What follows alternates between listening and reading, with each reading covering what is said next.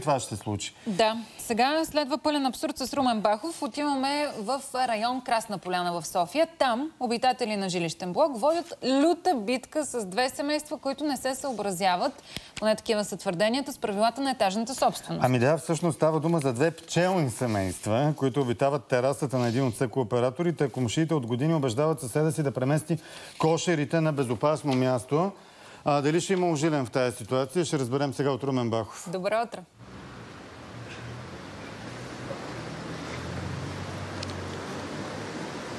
Добро утро, Лора, Вики. Здравейте на всички, които гледат сутрешния блок на Нова. Красна поляна, втора част. Ето една госпожа, на която казвам добро утро. Тя вече е ожилена, само че без да очаква. Здравейте. на вас. Откъде се появи- на зрителите на нова телевизия. Благодаря. Откъде се появи тази Ами, пчела? под нас на третия етаж един господин отглежда кошери и ние просто не можем да излезем на балкона А си. пчелата в хола ли влезе? И пчелата влиза и в хола. Играем А вас къде точно ви ожили? Ние на крака настъпих я просто и ме ожили. А вие вкъщи ли бяхте? Да. У вас има пчели? Е, да. Звучите доволно. Вечер се прибирам от работа, аз работя на скара и в адска топлина. Отварям си вратите за глътка въздух, но отдолу идва дим. Те опушват кошерите и просто... У вас е като пчелин. Да. Господин Петър Христов, добро утро. Вие ни поканихте с а, огромно притеснение, че съпругата ви е алергична, а под, тоест, а, под вас или над вас бяха? Над нас са пчелите, ние сме на втори, пчелите се намират на третия етаж. Идват ли ви на гости? Да, но ние не отваряме прозорците, отваряме ги като ни няма да се проветрява. А пчелите всъщност ви притесняват, защото съпругата ви е алергична или по принцип не харесвате пчели? харесвам пчелите, те са много е, необходими за целия живот на планетата, обаче се преценявам за жена ми, имам две деца, за които не знам дали са алергични. И не ми пречат пчелите, просто ме е страх от тях. Уважаеми госпожи, вие всички сте имали среща с пчелите. Не, аз конкретно не съм имала среща с пчелите, но знам до какво могат да доведат. Е, Била съм на село, където има пчели в- на двора и знам Така, е? пчелите отдавна са тук. Мила госпожо, заповядайте, елате. А, вие изглеждате доста непритеснена от пчелите, но всъщност, сега, уважаеми колеги, ще помоля оператора Севдалин Шилигаров да покаже едно пчелно семейство, което е избягало от третия етаж от кошерите, защото, доколкото разбрах, в момента пчелите са в процес на роене и са се заселили там горе. Тези какви са сега, извинявайте, господин, аз, защото малко се обвърквам, тъй като не разбира много пчели. Тези върху ябълката, Това рояк той избягал, значи няма место в кошери там, защото вече се множат. И избягал, това вече нова майка, но Всъщност, две майки са се появили в един кошер. Едната майка е повела част от семейството и го е заселила тук на ябълката. на ябълката, да. Да, он- всъщност, да. Онзи ден бяха на долното дърво. Да.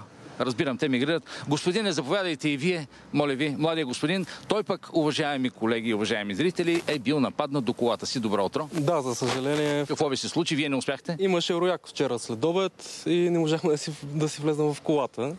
За съжаление не е нормално да се гледат пчели на третия етаж на 15 минути от сум. Нали? Съгласете се с мене.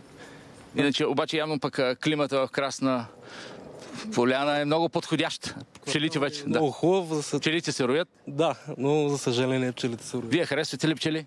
Разбира се, много важна част въобще за... За тези ми разкажете. Аз по принцип... Тези не, разбира се, мястото не е тук. А, Казахте, че не съм притеснена, напротив, моето дете е алергично. Периметър от 100 метра има училище и две детски градини, но това не е само единствения фактор, който по принцип, както засне оператора, мястото не е тук, отглеждат се в място, където не е пригодено и не бива да бъдат. И мисля, че някой трябва да вземе конкретните мерки. Така, сега, нямам търпение да прочета. Тъй като районната администрация, казвам добро утро на господин Иван Чекъров, кмет на Красна поляна, здравейте. А, вие многократно сте сезирани, но сте предал сигнала до БАП. Уважаеми колеги, запомнете какво ще ви прочета. В момента на проверката, когато тук са дошли инспектори в присъствието на полицейски инспектор, та в момента на проверката пчелите се държаха миролюбиво, но пребиваването им там ще бъде прекратено съгласно връчено предписание. Господин Христо, вие се надявате, че това ще се случи. Сега, господин Чекъров, нека да отидем да погледнем този рояк, който се е заселил върху ябълката. От тук нататък какво какво пчели има в кошери нерегламентирано на балкона на третия етаж. Те вече се заселват по близките дървета. Точно така. Тази сага е от две години. Господин Христов се обърна към нас. Ние го посъветвахме да направи събрание на входа. Те направиха. Направи. Ние проверихме господин Стоилов дали е регистриран като пчелар. Оказа се, че не е регистриран. Аз разговарях с него, той каза, че няма нищо страшно. Пчелар, Точно така. Наистина пчелите са опасни, както вие и чухте. Ако има някой алергичен, всичко се случва. А, лошото е, че има предписание, има акт и от тук нататък сме със свързани ръце. Сега имаме пчелар, който ни помага, когато имаме такива В аварийни ситуации. в аварийни ситуации. Ще приберем а, този рояк, но и аз самия не знам как да влезем в дома на господин Стоилов и да се махне този кошер от неговия балкон. Да, още веднъж да уточня. В момента на проверката пчелите се държаха миролюбиво. Ама, да, това е много странно. Да, това е официален отговор, между прочим, от агенцията по храните. Любиво, само че ние сме далеч от тях. Ако нещо ги раздразни или Ако падне случайно този някое рояк тук, долу на тротуара, ние ще се разбягаме веднага и дано няма някой алергичен тук от присъстващите и ще стане наистина опасно. Аз имах а, възможност преди няколко минути да разговарям с господин Станко Стоилов, който отглежда два кошера на терасата си. Господин Стоилов каза, че любезно моли са кооператорите да изчакат още два месеца, докато извади меда в началото на септември, за да не притеснява пчелните семейства, след което той, господин Христов, има намерение да изнесе кошерите от терасата. Дали бихте могли да изчакате още два месеца, докато господин Стоилов извади меда? Ами Аз чакам до момента 3 години. Дано стане. Не, но не го вярвам. Просто защото и друг път е казал същото, но не се е случвало до момента. Разбирам. Господин Чакъров, много се надявам, че този пчел... Всъщност, между прочим, тази ябълка вече е общински кошер. Давате ли си сметка? Така, да, сега ще приберем рояка и можем и ние да отглеждаме пчели. Да, искрено се надявам, че пчеларя ще дойде скоро и ще премахне рояка, а господин Стоилов и кошерите от терасата си.